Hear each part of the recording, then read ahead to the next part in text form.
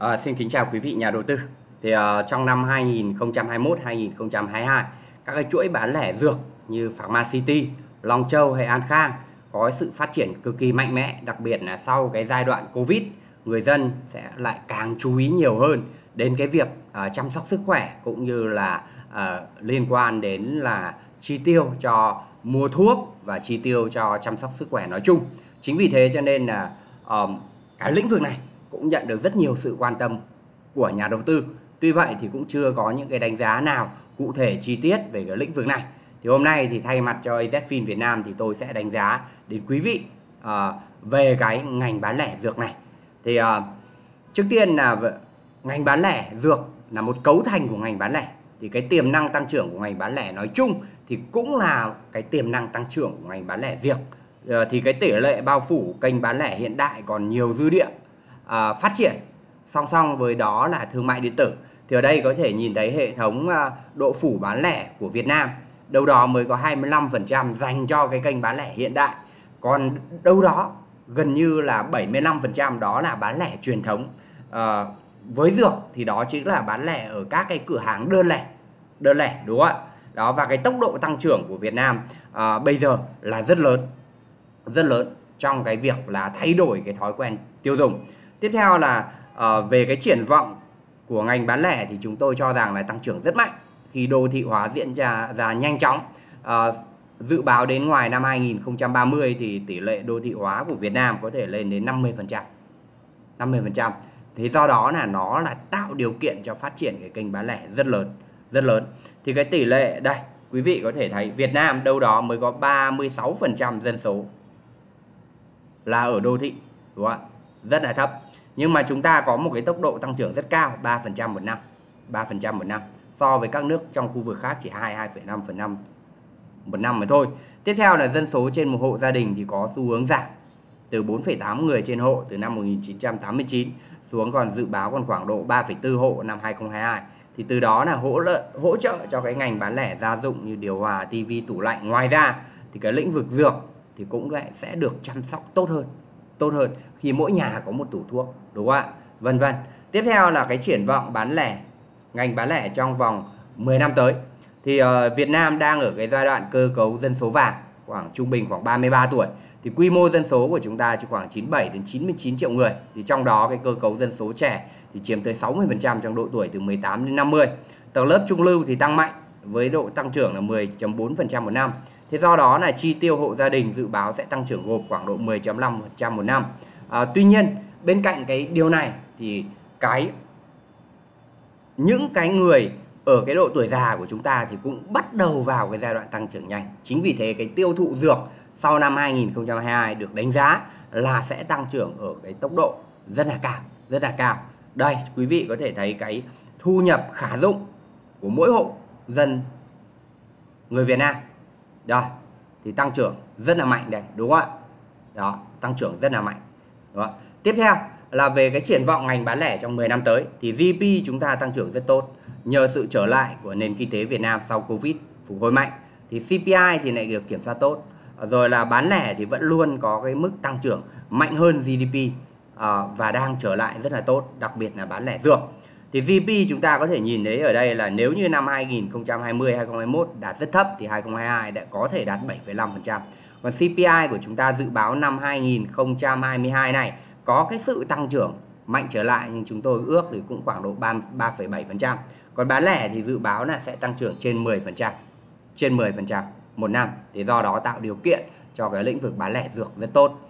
Thì ờ, khi phân tích đánh giá những cái yếu tố quan trọng của ngành bán lẻ thì chúng ta cần phải đánh giá về cái tốc độ tăng trưởng cũng như triển vọng ngành cho biết là cái dư địa nó còn lớn hay không. Rồi thứ hai là đánh giá về cái à, lợi thế cạnh tranh thông qua cái biên lợi nhuận gộp cũng như cái tốc độ tăng trưởng doanh thu và lợi nhuận hay độ phủ thị phần nếu mà nó chưa có lợi nhuận thì sẽ xác định được doanh nghiệp nào là những doanh nghiệp có thể chiến thắng trên cái thị trường bán lẻ. Thứ ba nữa là chiến lược phát triển cho biết là doanh nghiệp như thế nào và bao giờ có thể đến đích và định giá cổ phiếu hay là định giá những cái doanh nghiệp bán lẻ thì thường người ta dùng chỉ số PS phổ biến hơn. Đó, phổ biến hơn. Đúng không ạ? Rồi tiếp theo, đối với ngành dược thì ngành dược phẩm thì chúng tôi cho rằng tiềm năng tăng trưởng rất tốt. Thì chi tiêu dược phẩm 6,6 tỷ đô năm 2021 do một phần do đột biến dịch nhưng nếu không đột biến thì nó cũng từ 5 đến 5,5 tỷ đô và dự báo từ đến năm 2027 2028 thì chi tiêu cho cái mảng thị trường dược này nó lên đến 10 tỷ đô lớn hơn rất rất nhiều khá nhiều so với thị trường điện máy hoặc thị trường uh, điện thoại di động. Hay nói khác là thị trường điện thoại di động thì hơi nhỏ thiết bị ICT đó quý vị có thể thấy là quy mô cái thị trường dược phẩm này nó cũng khá lớn. Nó lớn hơn cái thị trường điện máy cơ chứ không hẳn là nó nó nhỏ đâu. Và cái tốc độ tăng trưởng của nó này dĩ nhiên cao hơn cao hơn. Và cái thị trường bán lẻ dược phẩm thì hiện nay vẫn khá phân mảnh, thì sau 2 năm phát triển rất mạnh 2021 2022 thì cũng có uh, đâu đó có những cái chuỗi mà vươn lên Tuy vậy thì những cái nhà thuốc quầy bán lẻ thì lên đến 60.000, gần 60.000 quầy bán lẻ. Thì trong đó cái chuỗi chuyên nghiệp thì chỉ có 2.700 thôi. Tức là chiếm một cái tỷ trọng rất nhỏ, rất nhỏ. Thì ở đây có ba cái nhà à, bán lẻ dược dẫn đầu. Thứ nhất là nếu tính theo số lượng cửa hàng thì Pharma City dẫn đầu với 1.093 cửa hàng cập nhật à, vào cái ngày à, 13 tháng 9 năm 2022. Long Châu là 771 cửa hàng, An Khang là 614 cửa hàng và một số cái chuỗi nhỏ khác. Cái doanh thu thì dự báo cho năm 2022 của các cái chuỗi hưởng thì lại xếp hạng lại khác so với số lượng cửa hàng. Đối với uh, Long Châu thì doanh thu dự kiến là khoảng 9.500 tỷ đồng trong năm 2022. Uh, à, và Pharma City thì đứng thứ hai với khoảng độ 4.200 tỷ đồng và An Khang đứng thứ ba với khoảng 3.000 tỷ đồng doanh thu trong các chuỗi này. Thì như vậy là với cái quy mô thị trường dược phẩm năm 2022 đâu đó khoảng khoảng độ 6 tỷ, hơn 6 tỷ một chút, tức là tương đương với khoảng độ um, uh, 140.000 tỷ. Thì cái thị trường bán lẻ có kênh hiện đại này thì đâu đó mới chiếm chỉ khoảng độ 12 13% thôi, 12% thôi. Quy mô còn rất nhỏ, do đó dư địa của nó tăng trưởng lên còn rất lớn. Thì ngay cả lớn nhất là Long Châu Long Châu chiếm 9.500 tỷ thì đâu đó mới chiếm được khoảng độ 6% thôi, hơn 6%. Đúng không ạ? 6,5%, 6,5%. À, Ma City thì chiếm khoảng 3%. À, An Khang thì chiếm khoảng độ 2,15%. Đó, thì đấy là các cái chuỗi bán lẻ dược phẩm. Dược phẩm. À, và với cái xu hướng về lâu về dài ấy thì các cái chuỗi bán lẻ dược phẩm này sẽ có cái sự phát triển rất tốt. Dựa trên thứ nhất là cái tính gọi là an toàn. Ở đây các cái chuỗi thì ở Việt Nam chúng ta lưu ý rằng ở Việt Nam là cái nguy cơ về thuốc giả, thuốc kém chất lượng là rất phổ biến. Và các cái cửa hàng nhỏ lẻ thì không lấy gì đảm bảo cho chúng ta là họ không bán những cái loại đó. Chính vì thế cho nên à, người dân ngày càng chú ý đến sức khỏe của mình hơn. Dĩ nhiên họ sẽ tiến đến những cái à, chuỗi cửa hàng dược phẩm có cái uy tín cao hơn như là Pharma City, Long Châu hay là An Khang. Và tiếp theo về cái lĩnh vực dược phẩm này ấy, thì cái độ gọi là trung thành của nó được đánh giá rất cao. Nếu như chúng ta đã mua quen ở một cái chuỗi nào, một cái cửa hàng uh, dược nào đó chẳng hạn thì chúng ta chúng ta sẽ thường có xu hướng lần sau cứ tiếp tục đến đấy mua. Nếu mà cái chất lượng, nếu mà cái dịch vụ của nó tốt. Đó và nó có sự trung thành rất rất cao và thậm chí là bán lẻ dược này người ta có thể đi xa một hai ba cây số để người ta đến cái cửa hàng quen của người ta người ta mua. Cái tính trung thành rất cao. Thế thành ra đây là một cái điều kiện rất tốt cho các cái chuỗi bán lẻ. Thì uh, bên cạnh đó bên cạnh đó thì các cái chuỗi bán lẻ lớn ý, thì họ áp dụng cái công nghệ vào rất nhiều. Thì bây giờ khá nhiều các cái chuỗi uh, ngay cả giữa đêm chúng ta cần thuốc chúng ta đặt hàng ở trên online họ sẵn sàng ship đến cho chúng ta. Sẵn sàng ship đến cho chúng ta luôn 24 trên 24 đúng không ạ? Và thậm chí có những chuỗi thì nó nhanh đến mức là chỉ độ 15 đến 30 phút sau là ngay lập tức là chúng ta có sản phẩm có mặt. Thì cái việc này thì chỉ có những cái chuỗi dược phẩm lớn thì nó mới có thể uh, ứng dụng và phát triển một cách mạnh mẽ phục vụ người dân gọi là đến tận trên giảng luôn. Đó như vậy thì nó có cái ưu thế có thể mở rộng và tăng trưởng rất là tốt. À, và cái tiềm năng như chúng ta đã thấy rồi. À, các cái chuỗi này mới chiếm khoảng độ 12 13%. 12 13 12% thôi. Trên cho hết năm 2022. Trên tổng cái quy mô thị trường dược lên đến 6 tỷ đô năm 2022. Đó, thì như vậy cái dư địa cho nó còn hơn 80% để có thể khai thác. Thì chúng tôi đang thấy rằng cái thị trường dược phẩm này nó cũng gần giống như cái thị trường điện máy điện thoại những năm 2006 năm 2007 khi đó thì phải nói là các cái chuỗi lớn các cái thương hiệu lớn chiếm không đáng kể chủ yếu vẫn là các cái cửa hàng nhỏ lẻ gia đình mở ra bán. Chúng tôi đang tưởng tượng thấy cái lĩnh vực dược này đang đang giống giai đoạn đó.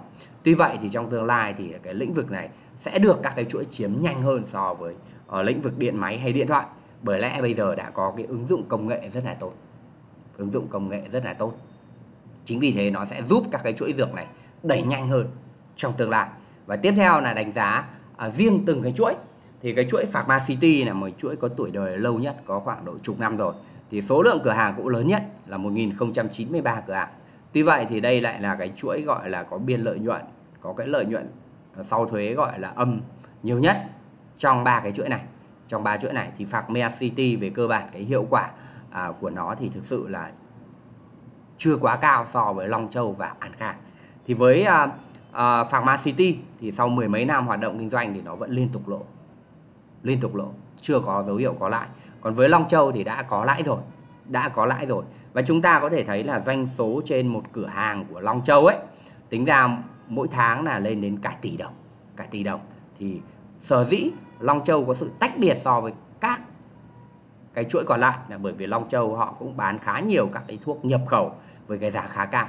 Thế thành ra là họ có cái doanh số trên cửa hàng phải nói rất cao ngoài ra thì cái cửa hàng của họ về cơ bản được nhận xét là cũng tương đối rộng so với An Khang và Pharma City thì uh, năm 2022 này doanh thu của Long Châu dự kiến là 9.500 tỷ rồi An Khang thì doanh thu trên mỗi cửa hàng khoảng độ 450 đến 500 triệu trên một cửa hàng thì dự kiến doanh thu khoảng 3.000 tỷ. Thì trong ba cái chuỗi này thì hiện nay nhìn chung tổng thể đã đứng đầu phải nói là Long Châu về cả kết quả kinh doanh, về cả doanh thu nữa. Đúng không? Doanh thu số 1 gấp hơn 2 lần so với Pharma City, đúng không? Cao hơn cả Pharma City cộng với An Khang. Rồi là lợi nhuận thì nó đã bắt đầu có rồi. Năm 2022 có thể đạt khoảng 100 tỷ lợi lợi nhuận là cái chuỗi dược đầu tiên có lợi nhuận có lợi nhuận đó nó dẫn đầu cả về doanh thu và lợi nhuận đứng thứ hai hiện nay thì đang là Pharma City đúng không à, với doanh thu 4.200 tỷ nhưng vẫn lỗ khá đứng thứ ba là An Khang với doanh thu 3.000 tỷ và dự báo rằng có thể cuối quý 4 đầu quý 1 năm 2023 là An Khang có thể có lại có thể có lại ở cái uh, giai đoạn này. Thì như vậy là nếu mà xét trên chặng đường dài thì chúng tôi đánh giá cao hai cái chuỗi là Long Châu và An Khang hơn hơn là Phạm Mã City. Về cơ bản là hai chuỗi này đã có những cái công thức gọi là công thức thành công cho họ công thức thành công cho họ. Chính vì thế cho nên là hai chuỗi này sẽ được đánh giá rất là cao rất là cao. Còn Phạm Pharma City nếu họ không thay đổi kịp thời thì có thể họ sẽ bị bỏ lại phía sau rất nhanh rất nhanh thôi. Bởi vì sao? Bởi vì Long Châu thì đã có lại với doanh thu rất to. An Khang thì là một là một cái doanh nghiệp về quản trị doanh nghiệp rất giỏi, ứng dụng công nghệ rất mạnh và cái năng lực để có thể nhân chuỗi của họ thì là đã được kiểm chứng và chứng minh. Phải nói là mạnh mẽ nhất, mạnh mẽ nhất. Thì như vậy trong tương lai thì cái vị trí dẫn đầu thì khả năng cao là do Long Châu và An Khang là hai cái chuỗi này cạnh tranh nhau, cạnh tranh nhau và hai chuỗi này thì 2023 khả năng cao đều có lãi cả đều có lãi cả. Thì khi đó khi nó đã có lãi nó đã chiếm được thị phần tốt nó mở tốt nó có công thức thành công thì nó có thể nhân, nhân chuỗi cửa hàng nhanh giống như là cái lĩnh vực điện máy điện thoại trong giai đoạn à, 2014 2020 ờ, này. Đó thì khi đó là các cái doanh nghiệp hoạt động trong cái lĩnh vực dược này thì sẽ có được những cái kết quả kinh doanh rất tốt và dĩ nhiên nó mang lại cái lợi ích cho cổ đông sẽ rất là cao rất là cao. Thì uh, với những cái đánh giá này thì uh, nhiều nhà đầu tư cũng hỏi tôi rằng vậy thì ngành dược sẽ định giá như thế nào? Thì uh, cá nhân tôi thì nghiêng về cái định giá theo P trên S nhiều hơn tức là định giá trên cái doanh thu doanh số nhiều hơn. Với một cái thị trường còn tiềm năng tăng trưởng cao như thế này và đặc biệt là các cái cửa chuỗi cửa hàng đã có lãi chẳng hạn thì họ có thể định giá trên cái doanh thu rất cao có thể tính bằng lần đó, đúng không ạ? Tối thiểu có thể tính bằng một lần, hoặc thậm chí có thể cao hơn là là hai lần. Hai lần. Dựa trên cái doanh thu. Bởi vì cái tiềm năng tăng trưởng còn rất lớn. Như quý vị thấy là doanh thu 6 tỷ đô thì tương đương với khoảng gần 140 ngàn tỷ năm 2022 thì các chuỗi này đâu đó mới chiếm rất nhỏ. Thì việc họ có thể chiếm được khoảng độ 10 những cái chuỗi đầu chuỗi đầu, đồng ngành chiếm được khoảng độ 10% thôi, đến năm 27 2028 thì nó cũng có doanh số lên đến hai mươi mấy ngàn tỷ nếu mà chiếm 10%.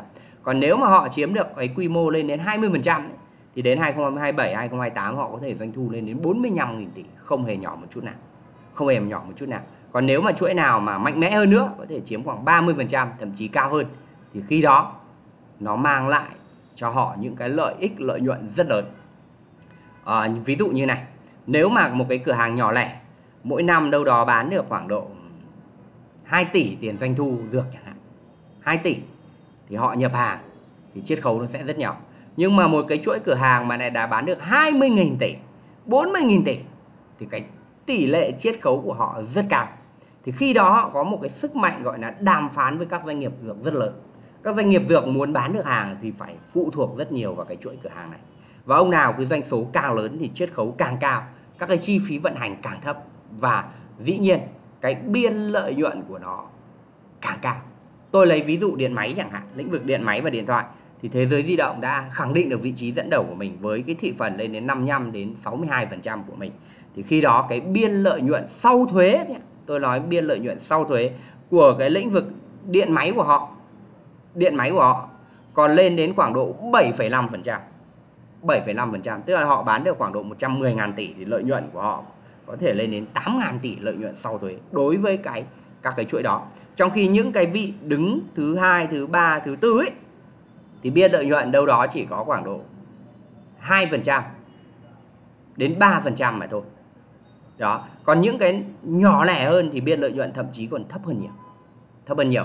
Ví dụ như cái cửa hàng mà à, bán được 2 tỷ một năm chẳng hạn, biên lợi nhuận của họ được khoảng độ 3 4%, tức là họ cũng chỉ được khoảng độ 5% đi họ được khoảng độ 100 triệu.